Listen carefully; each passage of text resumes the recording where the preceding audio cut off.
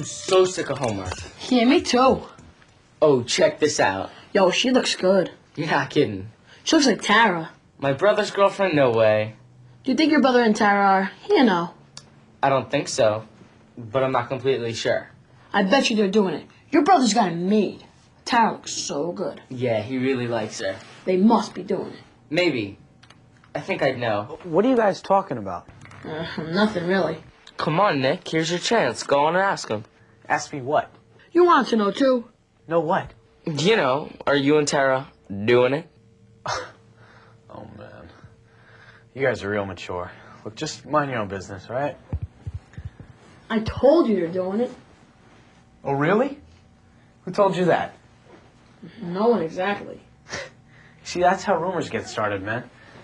Well, since it's so obvious, you guys will be surprised that we're not having sex. I knew it. How long is she making you wait? She's not making me wait. We just both agreed that it's something we don't want to get into. What? You don't want to do it? Look, I may want to do it. It's just that we talked about it and we just think it might complicate things. How? I don't know. Like, we both have a lot to concentrate on, like school and sports and stuff. I don't know. And uh, we don't want to be like a married couple or anything. Besides, it's not like we don't kiss and stuff. Don't you feel embarrassed? You're like the only guy your age who hasn't done it yet. Actually, most of the guys I know haven't done it, even though some of them say they do. It seems like they have. Well, don't believe everything you hear in the locker rooms. Dear Zach, I have a question. I heard that if a guy gets excited and wants to have sex, but then he doesn't do it, it's bad for his health. Is this true? No, it's not true. Abstaining from sex will not hurt you. It's a totally untrue myth. Some of the myths kids believe can be very dangerous. For example, a girl who believes that you can't get pregnant the first time you have sex might very well find herself pregnant after only one experience. There are lots of birth control myths. Some people think that if you have sex standing up, or if you take a bath after sex, you won't get pregnant. But that's not true either. Sometimes kids think that their friends are reliable sources of information about sex. But the truth is that most kids are not having sex and don't have most of the facts straight anyway. We have a few more letters here from kids. Let's see if we can answer some of their questions and maybe some of yours at the same time. Dear Holly and Zach, I have a crush on this girl at school. I kind of think she might like me too, but I don't know. This is the thing. Every time I see her, I feel nervous. I can never think of what to say, and when I do talk, I sound dumb. I feel like a big jerk. What should I do? I remember feeling like that. I think we all feel like that at one time or another. My advice would be to be yourself. You might feel a little nervous, but most people feel like that in the beginning when they're around someone they like. If you have reason to believe that she likes you too, she probably feels the same way when she's around you. Crushes can be a lot of fun and can feel really exciting, so even though it sounds impossible, try to enjoy it. What's up with Evan? Oh, nothing really. I mean, you know, I've gone to school with him for all these years, but I've never really noticed him. Like, really noticed him. He's cute. Looks like Morgan is starting to notice boys in a new way. Her hormones must be on the rise. Here's a letter with a pretty common problem. Dear Holly, this is so embarrassing, but I have to tell someone. I think I like my art teacher. I know he's too old for me, but I think he's really cute and nice. I really like art, and he's such a good artist. The other day, he said something funny in class, and I laughed way too hard.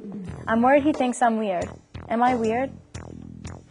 You are not weird, although you are right, he is too old for you. Your crush will probably pass after a while, so don't worry. It is very common for kids to have crushes on teachers, coaches, counselors, even on celebrities. It is normal to have a crush on someone you look up to. Sometimes friends even have crushes on each other. Having a crush just means that you like someone a lot, and liking someone is totally normal. Of course, that doesn't mean that you have to date that person. Crushes come and go, sometimes very quickly. That's a good point. Just because you have a crush doesn't mean you're going to end up in a relationship with that person. There's a difference between a crush and a relationship. Definitely. Crushes are fun and exciting, but when you really get to know a person, hopefully you start to respect and care for who they really are. Sometimes kids confuse having a crush with being in love. Love comes after you really get to know and trust someone, that takes time. Crushes can feel very strong. Sometimes people get swept up in that feeling and decide to have sex with the person who they have a crush on. Unfortunately, because crushes are not based on love and trust, they often don't last. When someone has had sex with the person they thought they loved, and then it doesn't work out, it can make them lose some of their self-respect. They might feel like they gave a special part of themselves to someone who didn't really care about them. It's important to think about your values about sex. Thinking it through and making a decision ahead of time is better than ending up in a situation where you have to make a decision under pressure. It is much easier to stick to a decision you've already made than to try to choose the right thing for yourself under pressure. When you've already decided not to have sex, then you can avoid situations where you might be pressured to do it. That brings me to one last letter. Dear Holly and Zach, I never thought this would happen to me. I was at a party dancing with this guy I like.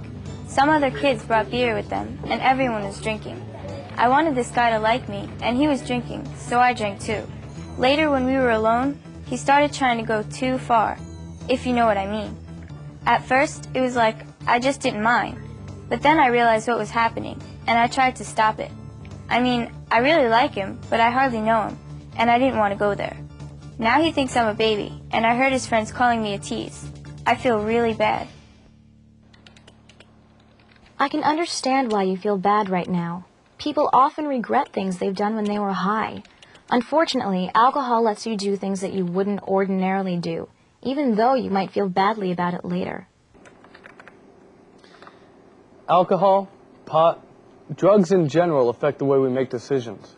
This girl decided not to have sex, but the alcohol made her temporarily not care about what is important to her. It also made it harder to say no when she wanted to. About the guy you like? If this boy thinks you're a baby, then he's not for you anyway.